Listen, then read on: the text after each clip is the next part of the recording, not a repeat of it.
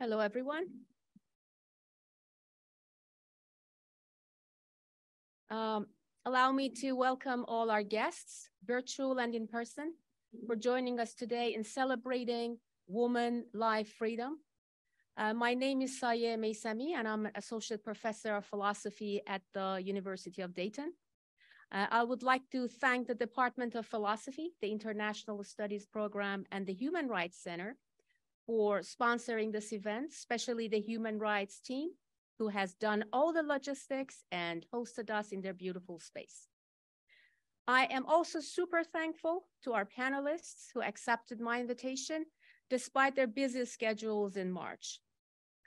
And I would like to offer my most sincere condolences on behalf of my colleagues and students at the University of Dayton to all our Turkish and Syrian attendees for the loss of many precious lives during the recent tragic earthquake.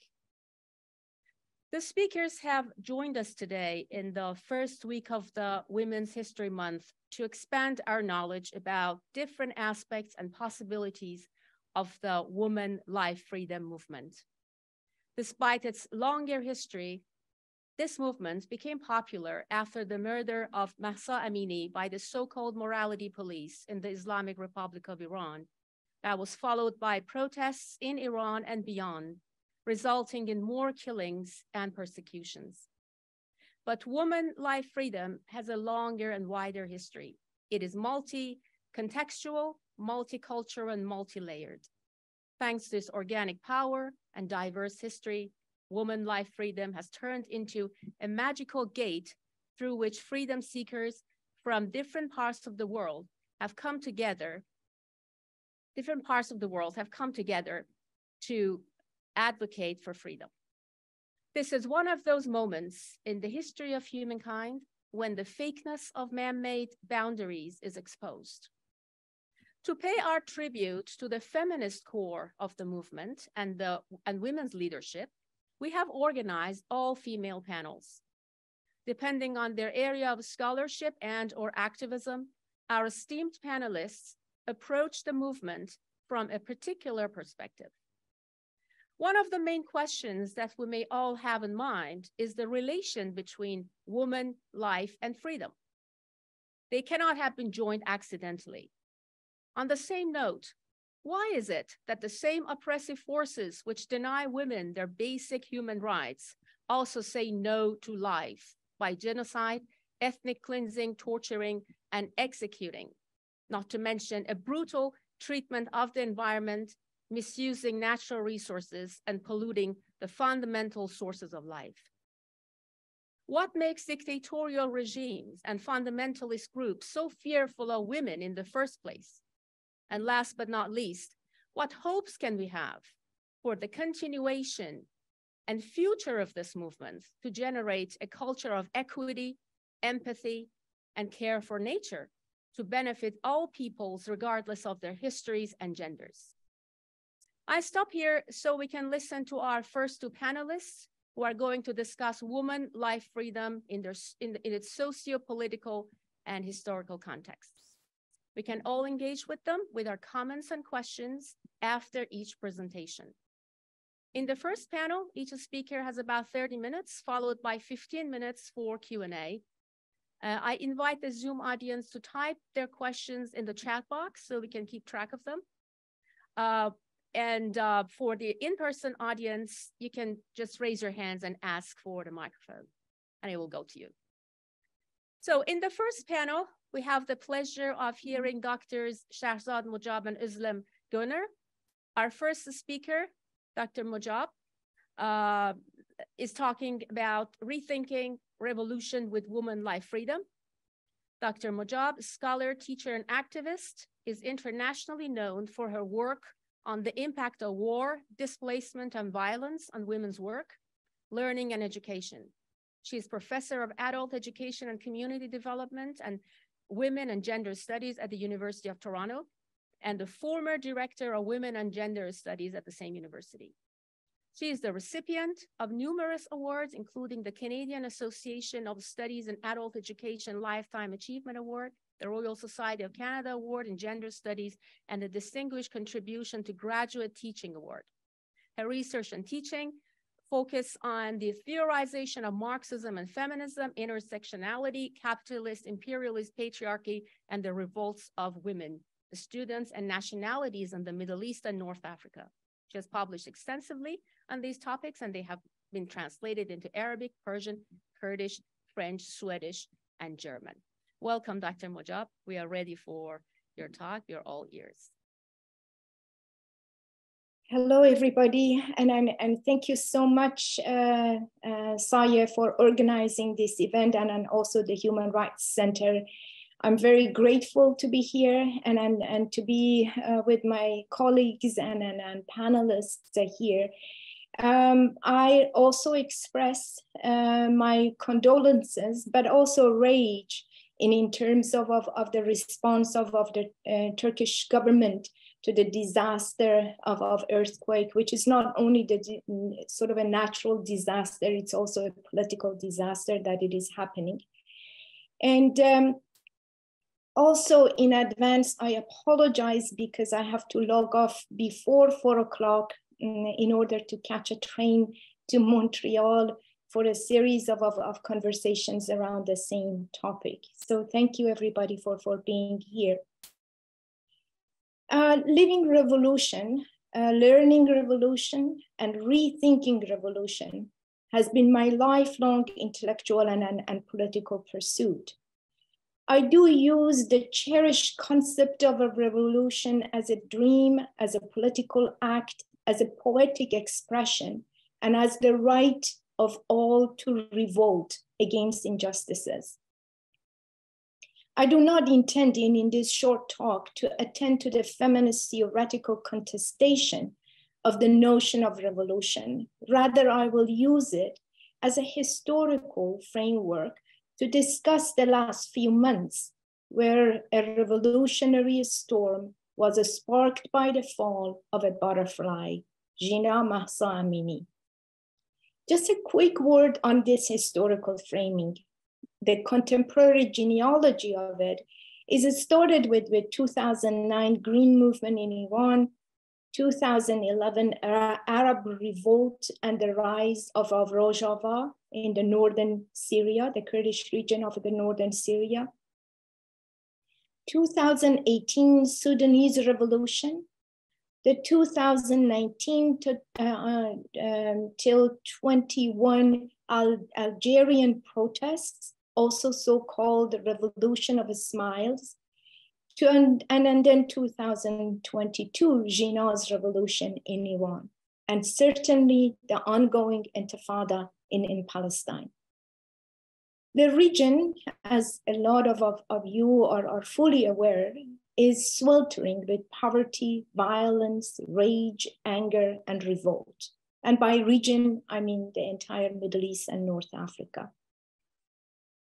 And women and youth are leading these uprisings. Authoritarian, corrupt, and militarized patriarchal regimes, both secular and theocratic, are colluding with the capitalist imperialist powers of the West to sustain themselves and with them, the West too. And, and here by sustaining themselves, I mean these regimes in the region. Stunned with fear and hope has been my mode of emotional being and thinking since September 2022. Stubbornly, hope remains the only option, though fear of intensified state violence the, um, of, of the uh, Islamic regime, including executions, arrests, and, and torture. And, and in recent uh, uh, weeks, um, this chemical poisoning of high school students as a revenge, which I will come back to it later. So all of this, this hope, this stubborn hope is, is persistently present in, in my mode of, of, of thinking and, and being. The presence of the absence of a clear future path to enable women life freedom is distressing the contradiction of fear and hope unsettles me. Only I, wait, I wait there to be settled in my revolutionary dreams. So bear with me as I will step into the past to arrive in present and try to unravel these contradictions to comprehend the current revolutionary situation in Iran. Summer of, of 1983 is the one that I still feel intensely. I vividly remember the moment when I heard, Be happy, shouted a young, bony looking Baluch man. You're safe now, you're free. And he continued, We passed the Iranian border. Deep sadness settled in my body. My stomach clenched. To calm, to calm my husband and my crying one year old son, I swallowed my tears and faked the joy of freedom. I was forced to leave home to gain another in exile. The Islamic forces began a massive and systematic suppression of dissidents, women, national minorities, the left, secular liberals, writers, students, workers, and intellectuals soon after they came to power. And the use of violent force was the means to consolidate their, their power. So as you can see, my life is interlocked with the 1979 revolution of Iran. Above all, I'm still a living witness to the rise and fall of the last populist democratic revolution of the 20th century, a revolution that has been written about extensively, though its history remains to be retold, especially by the rebellious Kurdish women and the left. I belong to the generation of women targeted by both the secular and theocratic regimes. Our bodies were inscribed, tested, dressed, undressed, shaped, and reshaped as part of, of, of the projects of, of the nation state building. In my teens, I was modernized, quote unquote, educated and taught ideas of independence as an urban middle class uh, belonging to the dominant nation of Persian. Soon after finishing my college education in the 70s, I was sent to the US on a government scholarship to become a technocrat and learn to redesign the Iranian university structure, um, uh, sort of, of modeled after the American system of, of university governance. However, it was the ongoing era of, of the 1960s, the student movements, especially the anti-war, civil rights, and feminist activism on the campuses of, of, of, universities in the US and my campus, University of Illinois in Champaign-Urbana, which excited me and animated my life.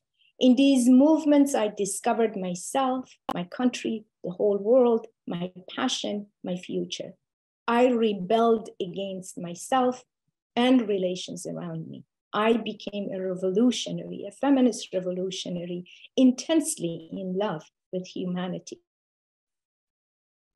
The rise of revolutionary tide, tides pulled me back to Iran. Like thousands of other Iranian students abroad, I returned home to join in rebuilding post monarchical Iran into a democratic society, as vague as it sounds now and more than 40 years ago.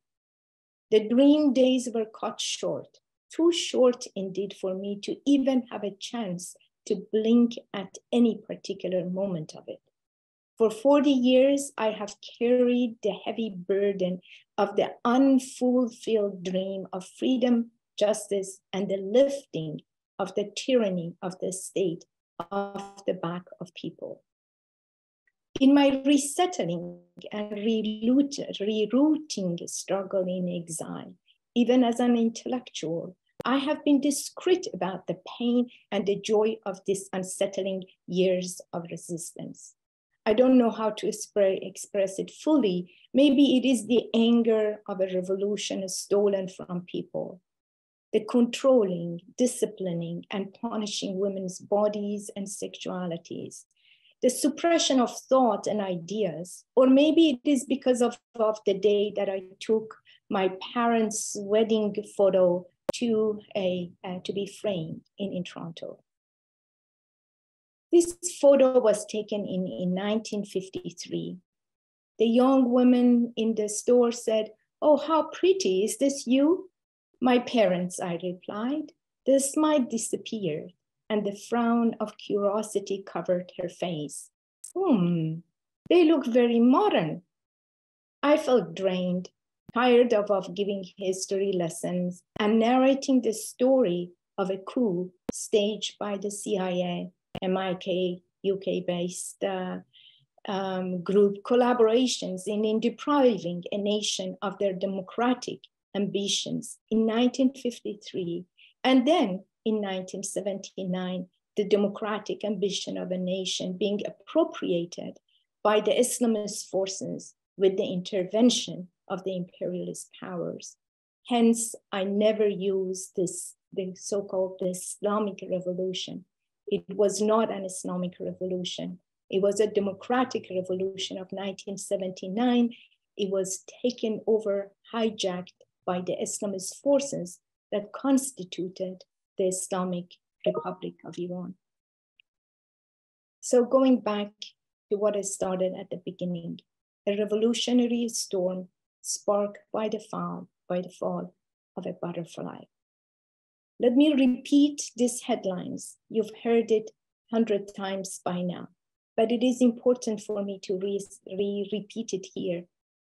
Jina Mahsa Amini, a 22 year old Kurdish woman of Iran, was arrested for improper veiling by the morality police and was brutally killed while in custody on September 16, 2022. The reason that I'm repeating this, this news, this headline news, because it contains three significant elements of the Islamic State violent oppression gender, around the notion of, of the compulsory veiling, suppression of, of national minorities, the Kurds, and then also the state machinery of violence around the notion of morality police. Jina was not the first woman to face the brutality of, of the Islamic State millions of women, you're hearing me correctly, millions of women and men have faced the violence of a state repeatedly and continuously over the last four decades. Let me give you a, a, a number that was released by the Interior Minister in 2014 when it says that in this report 220,000 women were taken to police stations to sign a statement that they will not violate the compulsory veiling law. In the same year, close to 4 million women and men received warnings and quote unquote guidance because they failed to follow the Islamic dress code or defy publicly regulated morality code ranging from men's hairstyle to tight pants to women's makeups and bodily posture, even um, loud laughters in, in public, and then also especially those who appear to be transgender or members of, of the LGBTQ communities. Jina was not the first Kurdish woman to face the brutality of, of the Islamic State. The Islamic theocracy is like the Pahlavi monarchy that was in power from 1926 to 1979, a unitary state rooted in, in Persian national superiority in terms of the language, even Shia sect of Islam and, and culture, and rejects the idea of self-rule or autonomy for national minorities. Jina's name is parenthesized, as is argued by several Kurdish feminist scholars, including my dear colleague Özlem Göner, who is here, that the erasure of Jina's Kurdish name and identity and dismissing the likely relationship of her Kurdishness to the fatal violence she was subjected to reveals deeper patterns of erasure that Kurds have experienced in modern Iran. So what is this pattern? The pattern is, is that Kurdish territory is militarized zone soon after this Islamic regime came into power. The economic and cultural suppression, securitization, assimilationist politics towards Kurdish language and culture. And then also while Kurds constitute 10% of the population, but close to 50% of political prisoners in Iran are Kurds. And in recent months, we see that most of, of, the Kurdish uh, women activists, environmental activists, human rights activists have been um, arrested. A teacher, a very well-known case is uh, Zahra Mohammadi, who was recently uh, released from in prison, but she was in, in, in prison for several years because of traveling to villages and, and, and teaching Kurdish language. Zainab Jalani, Jalalian, uh, who was arrested in, in 2008, is still in, in, in, in prison. And she is becoming a, a known as the longest uh, Kurdish, the, the longest women serving political prison, uh, serve, serving prison in, in, in Iran. I want to mention a couple of other names in order to tell you that what is the significance of, of these Kurdish people being arrested and, and, and in prison. It's very important that we remember Farzad Kamangar and, and Shirin. Farzad was a beloved teacher, journalist, and activist that was arrested um, at the same time uh, with, with uh, Shirin Alamhouli, who was also a woman activist. Both of, of, of them were executed on May 9, 2010.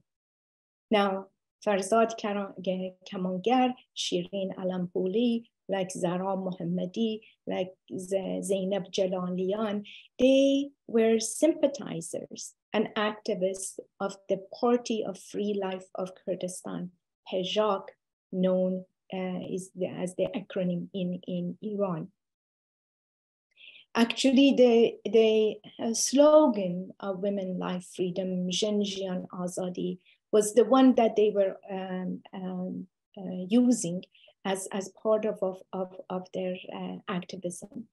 And those who were in prison with Shirin, they remember that, she wrote this slogan on the prison walls. And you know that the roots of, of, of the historical roots of, of, of this slogan is in, in the uh, PKK political party of, of, of Turkey. And, and uh, I'm sure that uh, um, other colleagues and, and, and, panelists here will, will give us a, a, a better and an, an expanded history of, of this slogan.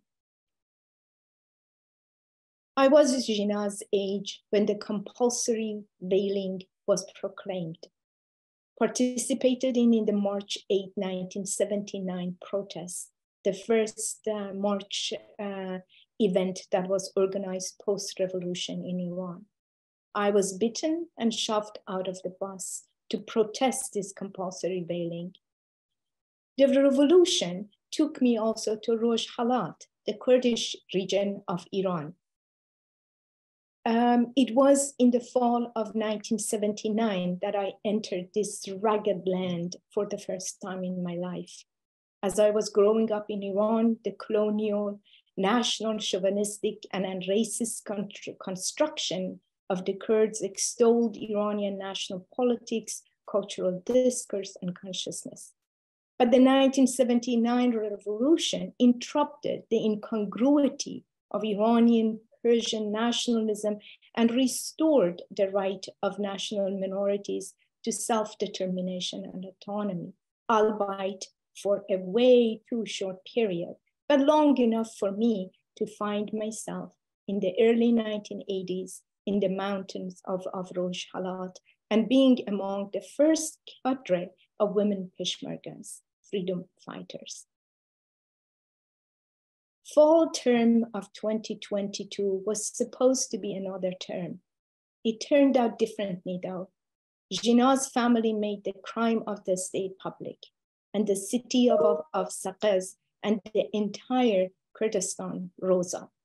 Women life freedom was echoed nationally and inst instantly was reverberated around the world.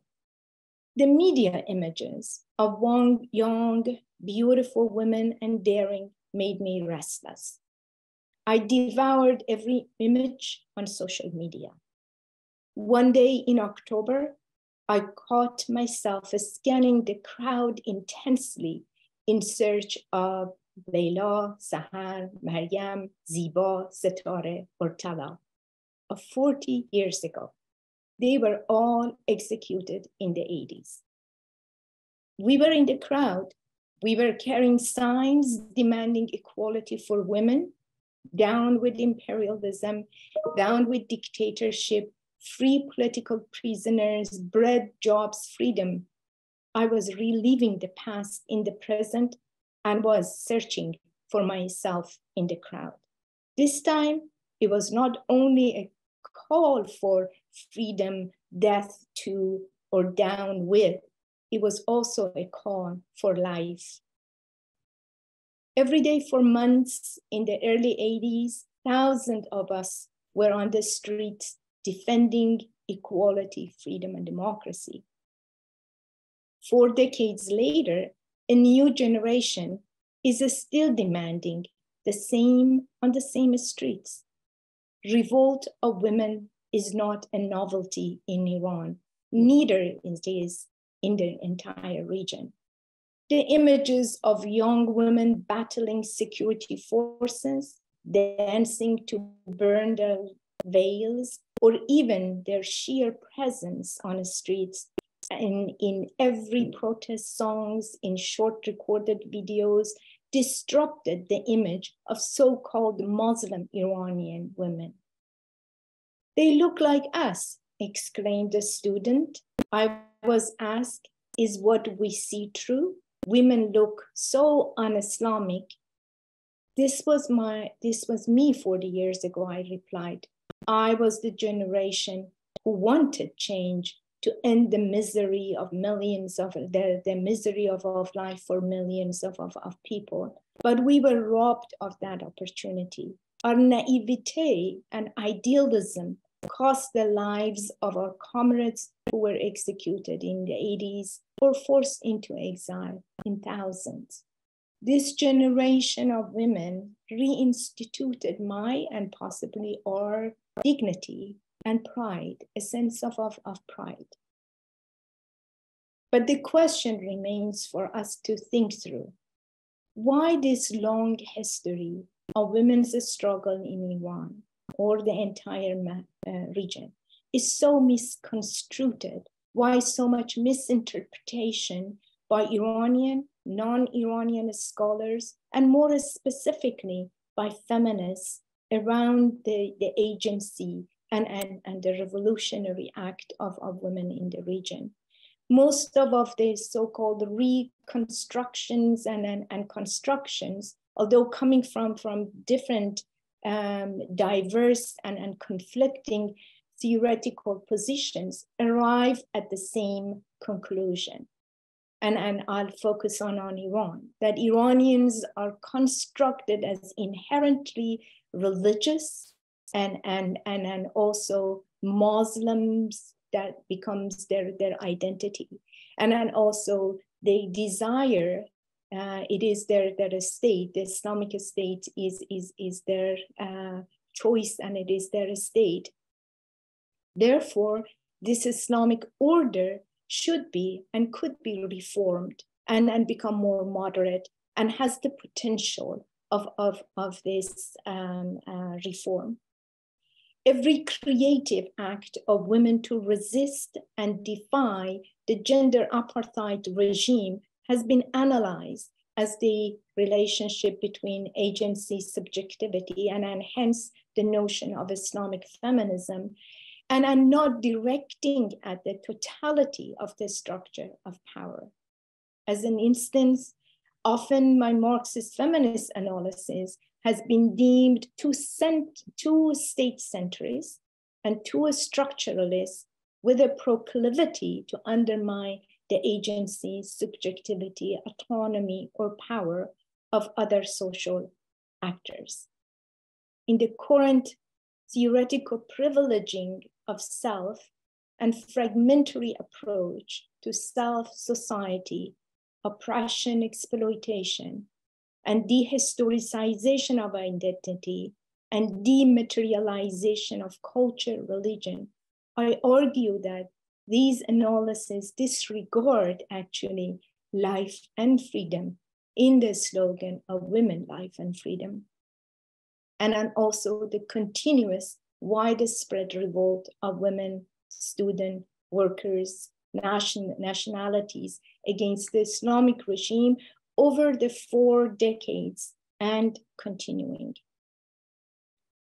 So International Women's Day of, of 2023 is upon us. Let me end with a proposition moving forward. Jin Jiyan Azadi, Women Life Freedom, has sparked a global feminist revolutionary imagination. We should aim at deepening its theoretical and political ethos to finish the unfinished project of a feminist revolution. In the MENA region, this means that we should comprehend first that fundamentalism and imperialism do not form a contradiction. While in conflict, they remain on the same side insofar as they are, in fact, against the emancipation of women, against the idea of, of, of democracy, independence, freedom, human rights, and, and, and, uh, and specifically secularism and the idea of, of socialism. Second, historically, too, Islamic fundamentalism and Western capitalism have formed a symbiosis and not a contradiction. This means that the reduction of war, poverty, violence, neoliberal authoritarianism in, in the MENA region uh, is the, it's not the question of either fundamentalism or imperialism. This actually distorts a very class nature of, of the um, all the revolts that it is happening in, in, in that region, and especially that it is led by women, youth, LGBTQ communities, and nationalities. And finally, a revolutionary feminist starting point is not and should not be the problem of identity, authenticity, indigeneity, or rhetorical decolonization. From a feminist revolutionary perspective, no aspect of social relations, culture, and, and formations of identities can be separated from the larger patriarchal, racist, capitalist, and imperialist structures of power. I started with the notion of rethinking revolution with women life freedom. But with the politically volatile situation in Iran, this chemical poisonous attack on high school girls, 1,000 of, of them as early as, as this morning report, the exponential rise in unemployment, poverty, devaluation of currency, and, and, and violence. And also the rise of exiled right wing coalitions reaching out to the West in search of an alternative. I think that it is also urgent that we reappropriate women life freedom and truly turn it into a radical, liberatory, and unjust platform, not only for, for the region, but it is it has very important global implications. Thank you very much.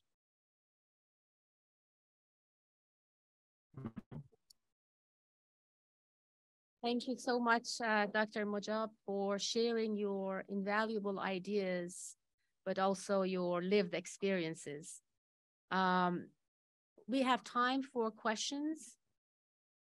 So I just, uh, I repeat myself, just thank you uh, for sharing your invaluable ideas and uh, and wonderful, well, your wonderful ideas and exper experiences, lived experiences. So, Thank you. Uh, you're welcome. Um, any questions? In the chat, you can unmute yourself if you have a question, um, or we can have Paul read the question out loud. Right, so we have a couple questions coming in, and apologies for my pronunciations of names. We have a question from Mustafa Najafi, and Mustafa writes, many thanks for sharing with us your insights and lived experiences.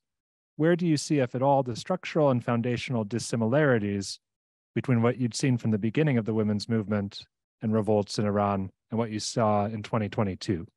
Thank you. Okay, so uh, well, thank you so much for for for this question. It is it's very important. Uh, there are uh, differences, and and they um, one is is that the uh, level of uh, knowledge and experience and and um, daring of, of, of young women and especially that high school students are, are playing a major role in in what is happening uh, currently. And and that's why that this poisonous chemical attack that it is happening against high school students it's a kind of of, of, of the state's revenge and, and, and, and creating a more condition of, of, of, of fear the other thing is is the solidarity across the, the country that it is uh, and, and especially the role that national minorities baluchs and, and, and the kurds are, are playing in, in that. That level of, of, of solidarity and then also the level of uh, the spread of, of the revolt outside of, of, of the major cities in, in our corner of, of, of the country that it is happening is very unique in, in the history of, of, of periodical revolts in, in the last 40 years. And, and also the, the, the political maturity that I'm, I'm seeing in, in terms of openly talking about LGBTQ's rights and, and, and making sure that that level of, of inclusion is, is happening. I'm not trying to uh, sort of, of depict a very rosy picture here. The contradictions are huge. Patriarchal relations is, is, is there. In the, the uh, misogynism of at the family level to the government level and, and within the, the school system is, is, is there it is truly a uh, cultural revolution as well as social political revolution. And that's why that the complexity that we are dealing with is happening at, at all these uh, levels. But thank you for, for the question. Thank you so much, uh, Dr. Mojab. Uh, you can hear me, right?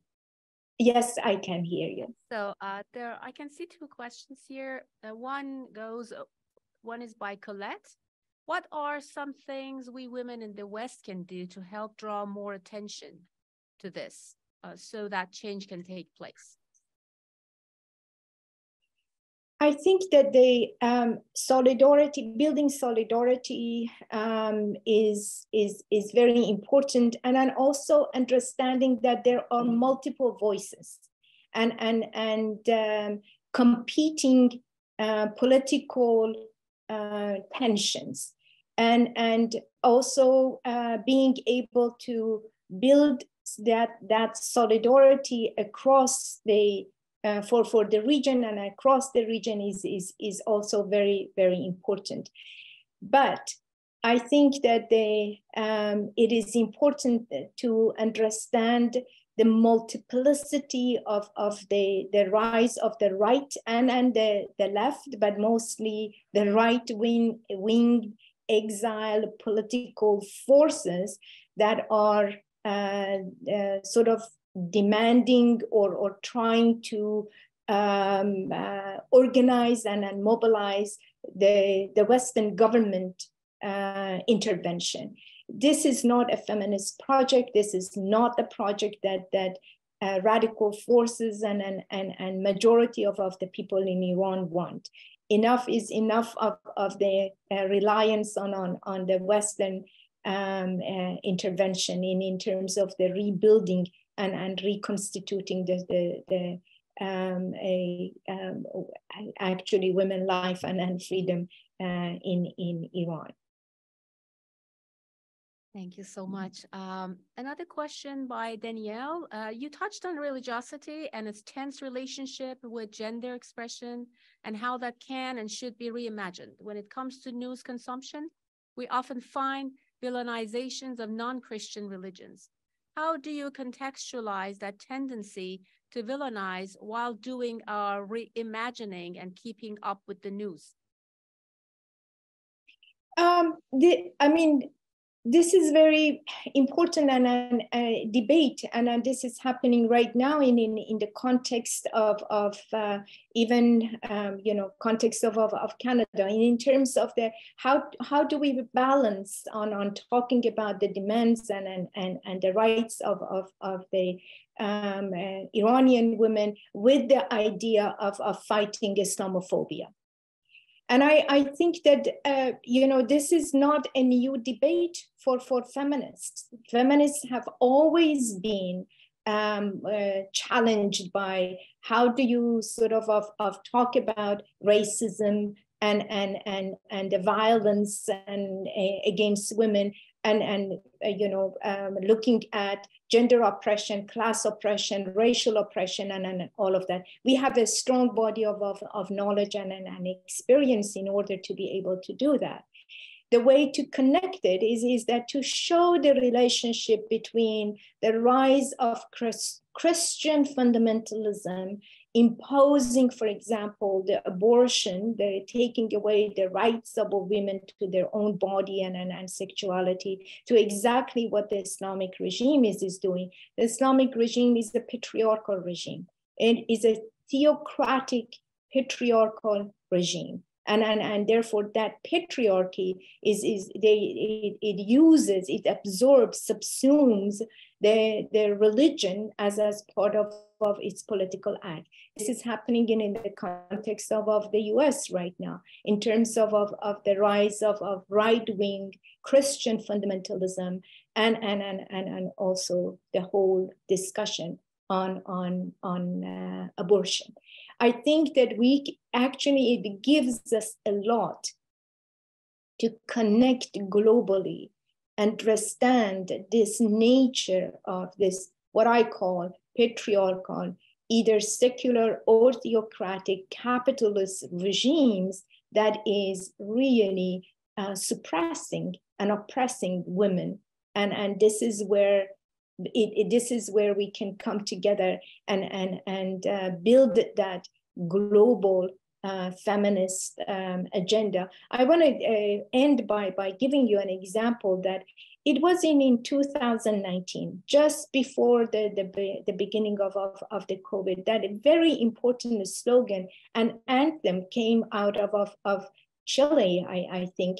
And, and it was the, the most important anthem that unfortunately got lost with the, uh, everything else that was happening in, in the world.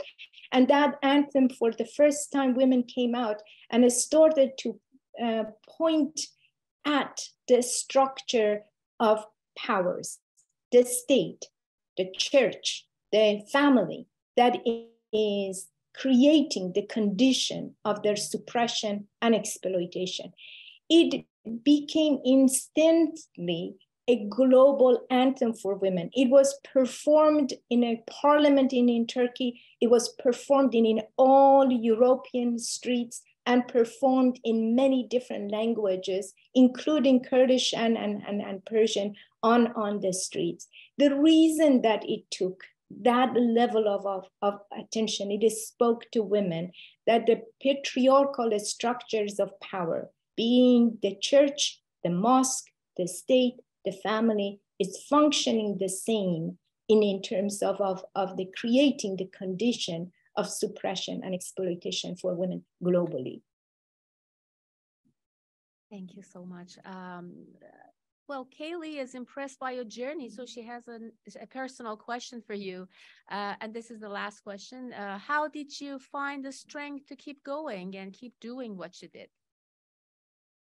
A, a, brush with, with change and, and, and revolution is, is life altering experience, and I, I cherish it. But also, you know, as I said, um, I'm living with the memory and, and, and, and the wishes and the dreams of thousands of, of other women that didn't make it to this day to see this uprising now. And I feel that um, I'm obliged to um, follow my own dream. It's not a personal uh, agenda, but also a collective agenda. And uh, it's it's it's the most human response, and I I I cherish it, and I I love it. That gives me hope to move on. It's not easy. I'm not I'm not sort of a, trying to uh, be idealistic about it. It is painful, it's difficult, but um, that's what it is. And that's part of the struggle. Thank you so much. We all appreciate your wonderful answers and the great talk. That was very illuminating. And thanks for joining us today. So uh, we're going to move on to our second speaker, uh, Dr. Özlem Göner. The title of her talk is Rocky Yet Unceasing Struggle, Kurdish Women's Path to Self-Organizing in Bakur. Dr. Göner is an associate professor at the Department of Sociology and Anthropology at the College of Staten Island and the Middle Eastern Studies at the Graduate Center of the City, University of New York. Her book entitled Turkish National Identity and Its Outsiders, Memories of State Violence in Dersim, was published by Routledge in June 2017. She has written academic and popular journal articles on the themes of state violence, gendered memories, and anti-colonial resistance. She's a steering committee member of the Emergency Committee for Rojava. Thank you, Dr. Göner, for joining us. Uh, we are ready for your talk. Thank you so much. Thank you so much for having me. And um, it's very nice to be in the same panel with Dr. Mojab here, um, you know, whom we've exchanged at the moment of the uprisings when they first started there was intense excitement but also concern and trying to build solidarity and see what we could do because we should you know always remember or that at least i try to remember myself that we're in academic settings. That's um, we, we analyze we talk but most of, most of the time there's a gap between what's happening and the real struggles on the streets and endangered lives and ongoing criminalization against movements and our own lives and the set of um, discourses right that we um, assess and evaluate the ongoing struggles. So being involved in any level that one can be is the only motivation for those of us who are sincerely um, caring about the oppression, the oppressive struggles of the current systems, and how to build a better world, how to build a world where we can imagine freedom, where we can imagine to be free.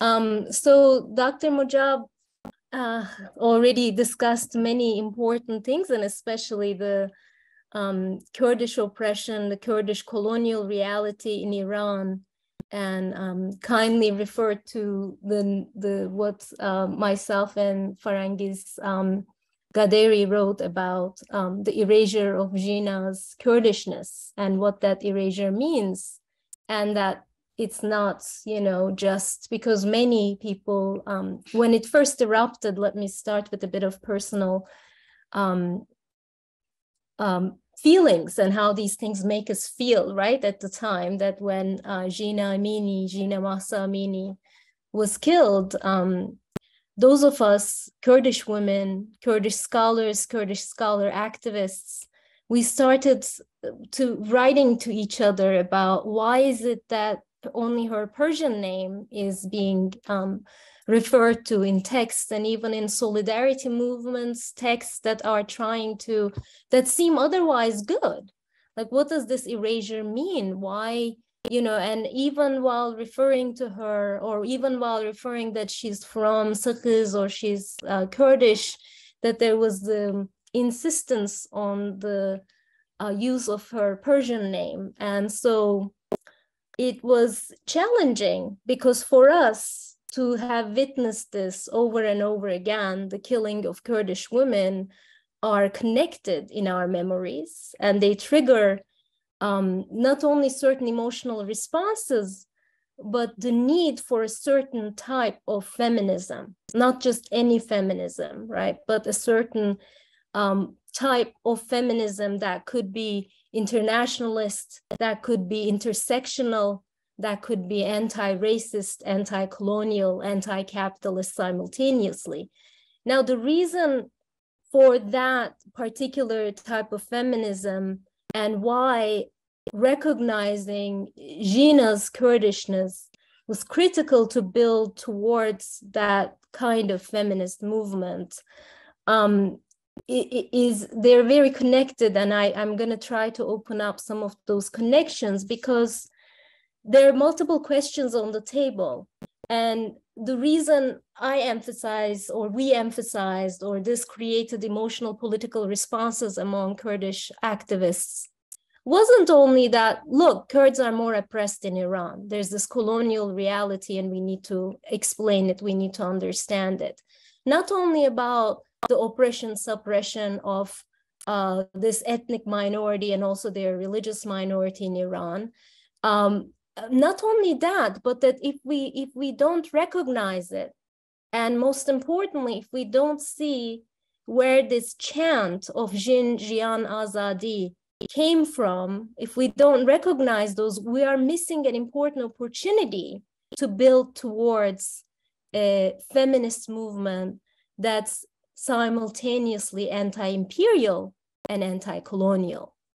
So why why is it important? I'm going to um, try to open some of that up by looking especially in the emergence of um, the Kurdish women's freedom movement in Bakur um, with the Workers' Party of Kurdistan that Professor Mojab um, referred to, and look at how um, women's question, women's um, women-centered political agenda, ideology, as well as institutionalization uh, became central in the Kurdish movement. And also it's very important, and I think, you know, we cherish this. It's not just a um, problematizing of the cultural appropriation. It's a moment that we cherish the echoing of Jin Jiyan Azadi and its power, the power of these three words, women, life, freedom. And and it, it says some about the power of the Kurdish women's movement um, and how recognizing it can really help us bridge some of these gaps between academia and activism, between you know um, obviously this big problem of Islamophobia and how not to play into it, but at the same time how recognize the bottom-up resistance movements that are against the similar systems of oppression that are built upon state violence, capitalism, colonialism, racism, and many other um, many other uh, systems of oppression. So the Kurdish freedom movement, even at its start, had to be intersectional. And this reminds me of for those of you who may be familiar with the um, Black Marxism, uh, is that it had to be necessarily intersectional. It emerged in the 1970s in Bakur, which is in the borders of colonial Turkey. It's occupied territories of Kurdistan under Turkey. And um, it, it came out of a Marxist-Leninist tradition, an anti-capitalist tradition, but came with a critique of some of those Marxist-Leninist um, movements that did not recognize the issue of colonialism in Turkey. Now, this is very important because the Marxist-Leninist movements of the time were very cognizant of the imperial reality, were very critical of US imperialism in the region, but they didn't see the entanglements of Turkish capitalism with that imperial reality, and they didn't see how Turkish capitalism really acted along with that colonial on top of and along with side by side with that colonial oppression and exploitation of the Kurds and their lands. So initially in its emergence in the 1970s, this struggle had to pay attention to at least two components of oppression that were central, um, as that had to be central for creating a free world. And one of that was class and capitalism. And the other axis of that was colonialism. Now, I'm not saying, again, maybe, you know, terms are very important here because I'm not using the term ethnic minority or the oppression of Kurds as an ethnic minority, but I'm referring to as a colonial reality and how colonialism and capitalism in many parts of the world, because it also opens us to a more global reality, that these um, axes of oppression work in tandem, work together. And so that's why in its emergence, this movement started with an intersectional angle without using um, the you know modern usage of intersectionality, but obviously the showing the oppressions and axes of oppression working together, it originally had an intersectional approach, um, both to understanding oppression, state oppression, state violence, because it was never seeing state violence against Kurds only as a, a as a political violence issue, but it always saw its capitalist entanglements. And so how that violence was necessary and inherent part of, of um, capitalist reality in the region. So, but then even in those very early starts in the 1970s, I'm going to refer to two figures. One of them is the leader of the Workers' Party of Kurdistan, Abdullah Öcalan. And if I don't have really a like a proper slideshow, but I just wanted to show some pictures if I can be enabled to share my screen. And if not, it's not a huge deal. It was just a couple of things. So I'll, you know, talk about um, Öcalan, the founder of the Workers' Party of Kurdistan.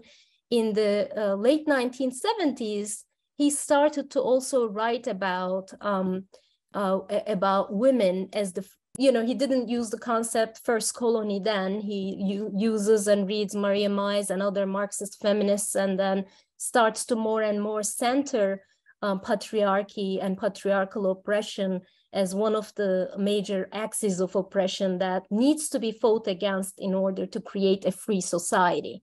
And that's also very important i think the notion of free society and the notion of azadi in all this, azadi, uh, freedom. So because it's not um, talking about injustice or inequality that can be otherwise, um, that can be gained in an otherwise, right, exploitative, oppressive society. It is a broader vision of how to live freely through getting rid of all systems of oppression simultaneously. So this, in the early part of Öcalan's thought, it started to show up, but it wasn't systematic. In the 1970s and early writings in the 1980s, um, the PKK early on, and it was, it's an important development still. I want to understand the importance or emphasize the importance of even this early um, adoption of the notion of patriarchy, gender roles, and his uh, his concept of um, killing the dominant male um, being an important part of freedom. Um, and so let me see if I could share. Um, okay, let's see. Yes, there. So as we see, even as early as 1980s, uh, he started to talk about killing the man, killing the dominant man. And here, his conversations, sometimes pragmatic about how to involve women in this struggle of freedom, and again, some people interpret this as a nationalist movement, but my argument is that the PKK was never really necessarily a nationalist movement. It was a Marxist-Leninist movement initially that had an anti-colonial um, approach. So even that initial phases of the emergence of the movement, um, Öcalan started to talk about his own family life and this notion of masculinity and what it means to be male and how to really kill the man, kill the dominant man within a man. So, you know, it wasn't systematic in 19, um, late 1970s and early 80s, but it was there and it started to attract more and more women around the party. And one of the, the other important figure that I'm going to emphasize in this talk um, is Sakine Cansız, who was one of the founders of the PKK together with Öcalan. And she um, her identity is very important to me both personally and politically because also not just to the kurdish movement but to understand her really gives us an angle as to what kind of feminism. Because Sakine Cansız um, for the movement is very important to develop um, to make women's um, to make patriarchy as a central axis of oppression that needs to be exterminated. And as early as 1970s, um, she starts to work in um, among uh, factory workers in different parts of Turkey to organize them, to mobilize them. So I like um, to emphasize that part because her struggle, right? Sometimes ideology can be, um, uh, sometimes ideologies are clear and people are in it in a movement with this ideology but other times your actual actions and struggles show what you were doing and what was central um, to your movement. And Sakine Cansız's actions at the end of 1970s are very critical because she at the same time is uh, separating from the Turkish left and eh, you know getting in lots of arguments and fights about the colonial reality and how the turkish left is unable to um, realize uh, Turkish colonialism and how it conditions Turkish capitalism so that you cannot fight against capitalism without this colonial question. Not only right add something else or add the issue of Kurdish minority, but really to see colonial and capitalist entities working hand in hand. So her work with the factory workers, along with this emphasis on anti-colonialism, but still uh, Marxist-Leninist angles of anti-capitalism and showing that the exploitative nature of um, of capitalism as early as that. And one other important parts of Sakine Cansız's identity and her political education uh, that shapes the PKK, that shapes the Kurdish women's freedom movement later, is that she's from the region of Dersim, which is where I actually also am from. And um, and this region is a very interesting region. Uh, it had um, Armenian, you know, even after the Armenian genocide, um, there was a huge Armenian population residing in this town. So in state reports, you know, when I wrote about the violence against Dersim, that in state reports, you see the problematization of this Armenian identity, Kurdish identity in the region, but these are also Kurds in Dersim speak a, a minority language called Zaza language, which is even minority among the Kurds. And she is also Alevi, majority of Kurds in Turkey are Sunni Muslims. And so she's Alevi, she's a religious minority, comes out of that and also emphasizes her grandmothers in her memoir. Um, in the first volume of her memoir, she talks about her grandmother's um, stories of violence and massacres in Dersim. Now, some of you might not know this, but um, Kurds in the parts of um, uh, colonized lands that they lived in, occupied lands that they lived in, um, have faced multiple um, forms of state oppression and also very um, important genocidal projects at the hands of these colonizer states. So Dersim, for example, in 1938, which is where Sakine Cansız is from, um, has um, witnessed, has experienced series of genocidal massacres that um, resulted in the killing of tens of thousands at the hands of the state. And there is a very critical gendered dimension of this violence. You know, the adoption of the girls, the rape and sexual violence used against um, Kurdish women in this region um, was very influential in shaping her politics and her her her identity and her ideology Um, and so she's very then bringing together this axis of Kurdish colonial reality, exploitation of factory workers, and also the minority among the minority of non-Muslims and Alevis, these religious minorities, and their memories of state violence have really shaped uh, her political identity. And she's one of the early founders of the Workers' Party of Kurdistan, and also one that worked very actively in organizing women um, and in gaining many, many, many um, thousands of you know, supporters for the PKK in the 1970s and later in 1980 when she was captured by the Turkish state.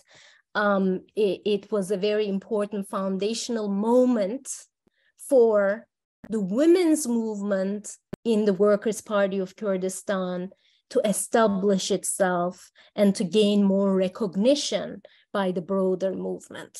So, because this is a very important question that we need to understand here, is that how has a women's movement gained so much ideological, educational, institutional leverage, power, space in a broader freedom movement? Because we've seen, you know, in many anti-colonial movements that in the region and elsewhere that women were sidelined afterwards or even during the revolution their issues and the issue of patriarchy was hardly ever addressed so the question here is how has the kurdish women's movement developed um, such important ideology from education system to self-defense to political parties to co-chair and representation that we see today in the Kurdish freedom movement, how have they gained such force in the party? And that's why it's important to understand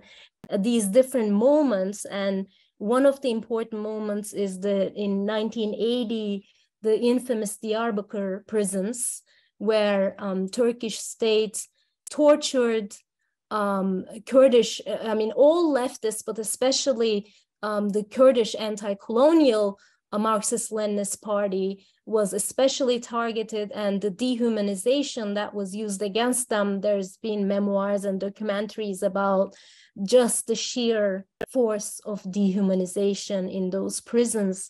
But Sakine Cansız gained this leverage for the women's movement in those prisons, in those same prisons where the Turkish state was using extreme sexual, gendered violence against women, uh, you know, kind of using gendered notions and concepts of honor and trying to use them against the Kurdish women to break them, to turn them against the movement.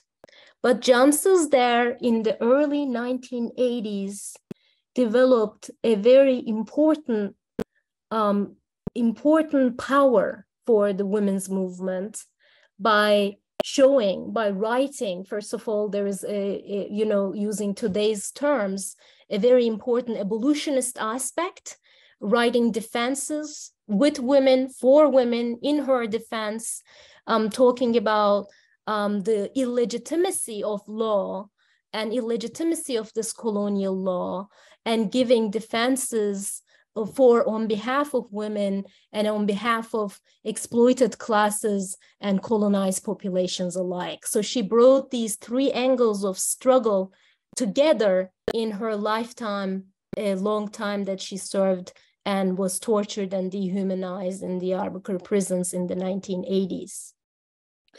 So um, this Öcalan's told, and sometimes, you know, and uh, there's still more research. Dilar Dirik's uh, recent book on Kurdish uh, women's movement is very important, but more research also needs to be done to show how the leader Öcalan and the women who participated in this Cansız, but many, many other women, because we see the increasing popularization, this dialectics of suppression, oppression, and resistance in the Kurdish movement and in the Kurdish women's movement more specifically.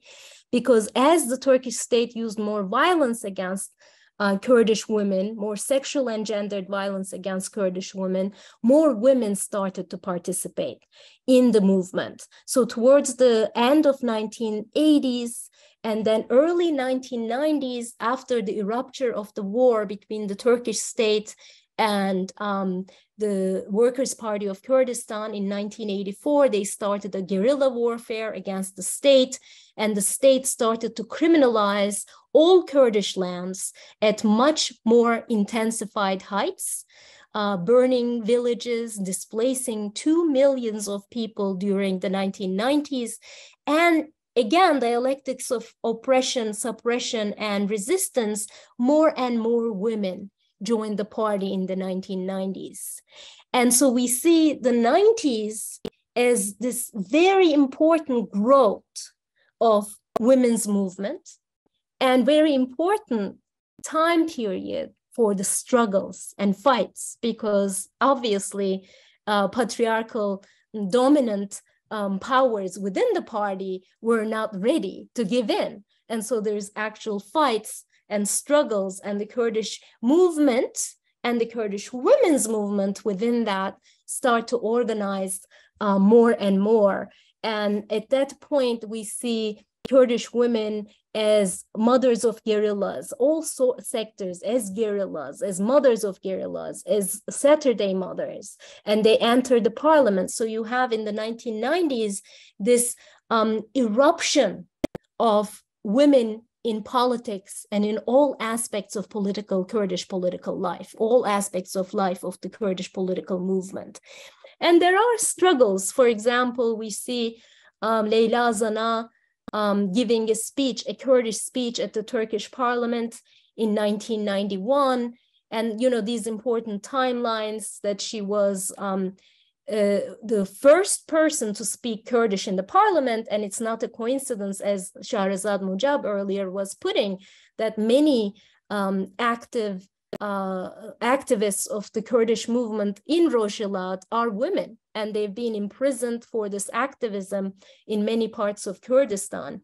But these came with struggles, also important gains. And for example, in 1995, PKK Women's Congress released a two-page statement. And in this, uh, we can just shortly, if I can go over it, says the potential of women who make up half of the society in the service of the revolution and their hidden and suppressed talents and intelligence in creating an entire society based on equality is the most humane and the most radical characteristic of our revolution. Our movement deals with the question at the ideological, political, party, and military level and has made great steps in all of these areas. So similarly, there's this back and forth between, you know, it's not just Öcalan as one leader shaping this women's movement. It is that he's given some opening, but then more women participating, discussing, debating, forming their institutions, organizations, demanding, fighting, struggling with the men who wanted to hold on to patriarchal power. And there was a back and forth between Öcalan and the women. Uh, and here we see, for example, in Öcalan's thought that this becomes more systematic as well. And for example, he, uh, in Liberating Life, talks about uh, especially the importance of women's party. And this is something, right, I say today we need to pay attention to Kurdish movement, not only because Jin Jiyan Azadi originated in the Kurdish movement, and not only because Kurds started, you know, especially Kurdish regions were um, uh, explicit targets of Iranian state violence, right? If others were also poison gassed and beaten, Kurdish towns were bombed and people were killed on the streets. So not only because that there is extreme suppression and oppression against colonized Kurds, uh, but because there are many uh, decades of women's organizing for free life and society that has given way to this um, notion of women life freedom and that there's decades of struggle um, that we're going to be having right at the moment maybe with the revolution being so um, bright that men supporting being on the streets i think it's very important very powerful but that there will be times where there will be contradictions, such as in the Kurdish movement, there were times when there are contradictions. For example, this is Gültan Kışanak, uh, who is currently in prison. Um, and she talks about in 2007 how men in Kurdish political movement accepted the number of women to be elected, but they came out with a new offer to put famous women or wives of famous women, uh, famous men onto the list. And but we said no because the number itself wasn't going to be meaningful as long as the proper acknowledgement of women was not recognized by men and society. So if we look at here, after long and harsh arguments, we won this battle. I think this is very critical to see that there's battles to be won within the movement, not just against the state, but within the movement. And therefore, it's important to see, to learn what it comes from and how there is an ongoing struggle for revolutionizing, ongoing struggle for freedom in the movement. And um, this movement in Bakur led to um, the Rojava Revolution of 2012, where the chant of Jin Jiyan Azadi became institutionalized, I call it. Because there, there was a practice, okay, there's no longer the Syrian state, there's no longer the colonizer state. The movement can now, obviously, under the attacks and ongoing wars at the hands of the Turkish state, but has some space to try to build institutions of that um, democratic modernity, radical democracy, active participation of uh, all peoples and women in the governance of societies. So there we see these important um, developments, such as um, in institutions of women's empowerment, women's parallel parties, um, co-chairship system, uh, women's asayish, which is alternative to policing, but at the same time, how can we, you know, these questions that are very important for movements today, right? Like evolution, but how to build alternatives in place. Anti-capitalist, anti-patriarchal societies, but how are we really going to express and try to live these freedoms in, by creating the institutions that will give us the space, that will give us the um, structure to really uh, to enjoy some of these freedoms that we ideologically fight for. And in here, we see the slogan, women, life, freedom in Rojava having come to life. Though it's not complete, though it's a struggle, as you know, women I've spoken in the region, uh, one of them, for example, Foza Yusuf, said, we never say we're free. We're not. We're just trying to just stay on that path towards freedom by revolutionizing ourselves and our societies every day. And so that Jin, women, Jiyan, life, and that life also includes this important notion of ecology and nature and anti-capitalist practices where nature can really be enjoyed and um, and azadi which is freedom but freedom from capitalism from oppression from colonialism from racism from ableism from heteronormativity so to give us this space of imagination that's beyond capitalist modernity. And that's why we need to understand that that movement that has given rise to the chant of women life freedom that activated millions across the globe, millions of women, especially across the globe, has been criminalized on a daily basis. And I know I'm going over time, so I'm just going to end by saying in the same month that Jina Amini, Jina Mahsa Amini was killed in Iran, Nagihan Akarsel, an important member of the Jineology committee, which is, you know, women's science and uh, liberation of the Kurdish freedom movement, Kurdish women's freedom movement, was assassinated in the borders of Iraq by the Turkish government. And that and Nagihan Akarsel was important because she was really one of the founders of that chant, one of the early writers who used the meanings of women, life, freedom.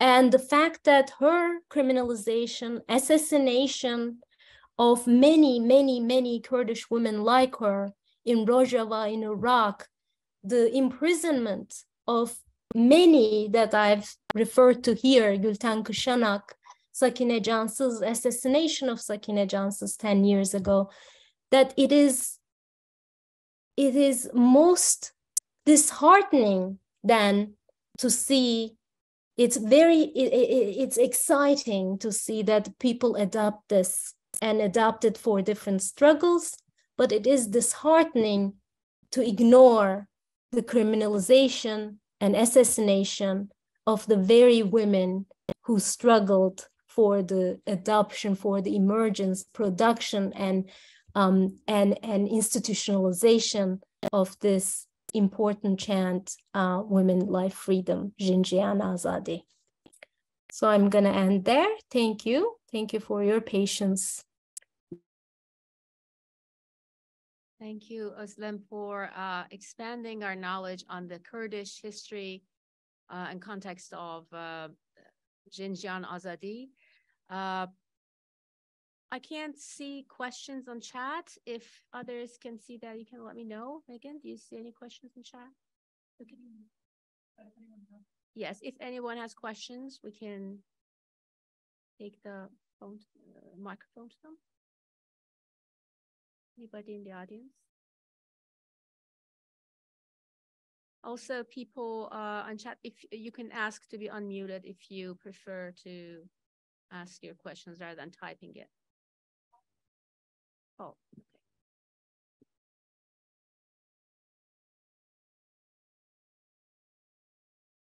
Dr. Göner, can you hear me? Thank you very much. I'm in the room here in Dayton. Thank you so much Yes. for your talk. You mentioned the dialectic of sub- subjection, oppression, and resistance, looking backwards at understanding this liberation movement. I don't know how legitimate it is to try to project forward based on the current protests and then the oppression that's happening now, but do you want to think dialectically a little bit forward for us? At where do you think this movement is going? And that's a very open-ended question, but um, thank you. Thank you. I mean, yes. So, you know, it, it is unfor- obviously it is saddening. It's it's very disheartening to see uh, regimes um, using such sheer violence against protesters, especially in the case of right Iran or Kurdish movement. I mean, these are very young protesters, um, as Shahrzad Mojab um, mentioned it's the use of chemical gas against um, high school girls, right? So this is the extent of this violence. But I think historically, right, I can speak and maybe make a projection in this historically, um, the use of sheer violence has not stopped movements. Um, if if they are strong if they are if they have the foundations and if there is organization and education so i think that's why i wanted to emphasize some of the elements that we need to be thinking about right in terms of creating solidarity movements that we need to make our movement stronger. The reason that the kurdish movement didn't die when millions of them were displaced when tens of thousands of them were killed is because there were very um, important foundations in it that the organizations the knitting the reaching out to people on an everyday basis was a lesson well learned and so and important organizations institutions even mechanisms of self-defense right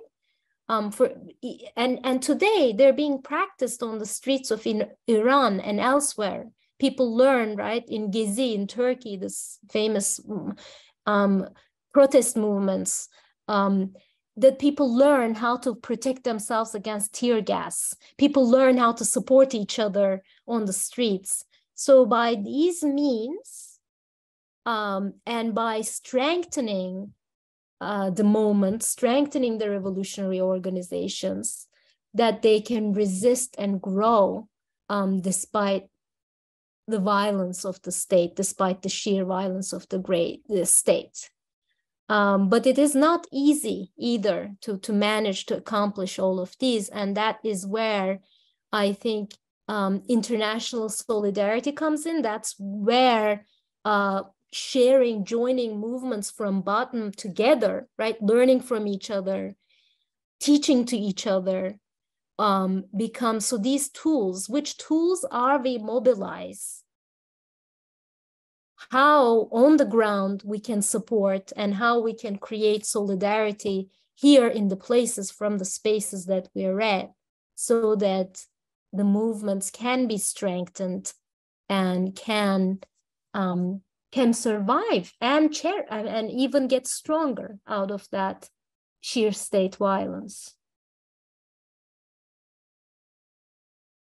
Yeah, I just wanted to follow up on that. It, it's a fascinating uh, uh, tour de force in um, in the Kurdish women's movement, and I learned a tremendous amount. So thank you so much for that. Um, what are the current mechanisms for solidarity between the the Kurdish women's movement and the broader Iranian movements around women life freedom and then in that also beyond sort of Kurdish um, Iranian networks, the broader networks throughout Turkey, the region, and then globally. What is currently practically happening in terms of solidarity um, that you're noticing? Where do you think um, more needs to be done?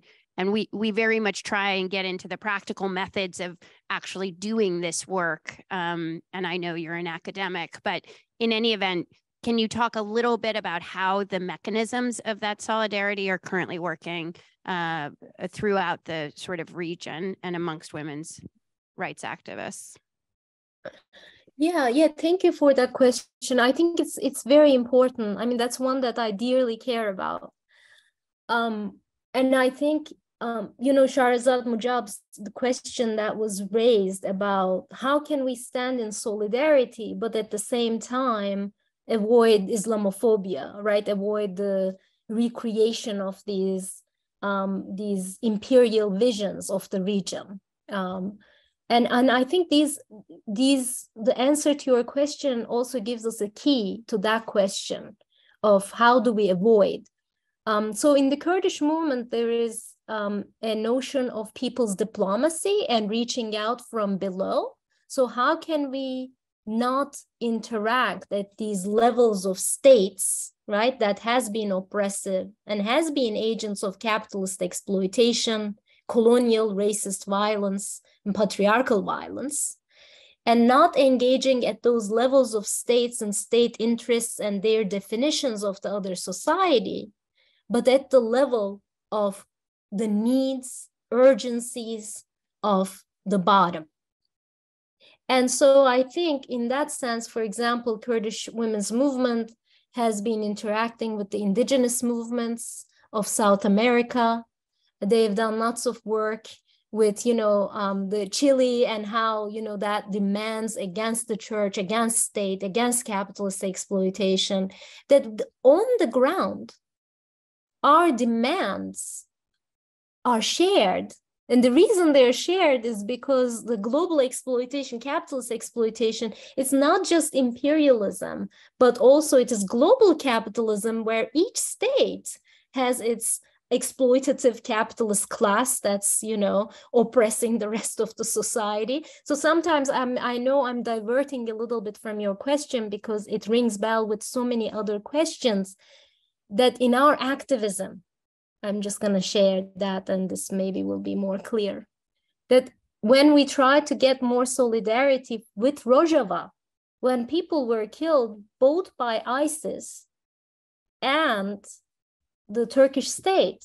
Still, three people were killed two days ago, uh, three days ago in Rojava, three Yazidi people, ethnic minorities who worked against ISIS and worked for democratic confederalism, radical participatory democracy in their own societies, these Yazidi communities were killed. But when we try to look for solidarity, we hit walls. People call us you know acting with imperial powers. People call us oh that's like western notions of feminism. It's freedom. People want freedom want to live free lives and the societies that we live in aren't what you know the imperial visions of us imagine of us as Shahrzad was saying these are societies where there was you know strong social movements, Marxist-Leninist movements, Kurdish anti-colonial movement grew out of that. And we have it in every place. I mean, in the US, there is the Black socialists and other movements that are trying to carry the traditions of, right, like Black power movements of the 1970s. So what Kurdish movement tries to do is to work with movements on the ground that share same principles of intersectional, internationalist, anti-capitalist, anti-colonial, anti-patriarchal, um, uh, and and and more, right? Against more old systems of oppression. So we try to get together with these movements that are on the ground. And if we build more and more connections, then we can be more powerful against um, the systems of oppression that act globally. Um, and, and that is then beyond the logics of states, right? Russia, China, and how, you know, and how these are all imperial powers and all capitalist, global capitalist powers. And somehow we get into the state logic and put one against the other and take sides with states that's not where our power is. Our power is with the movements that is below the state, that is bottom up from the ground, and movements that we share values, ideologies, practices with.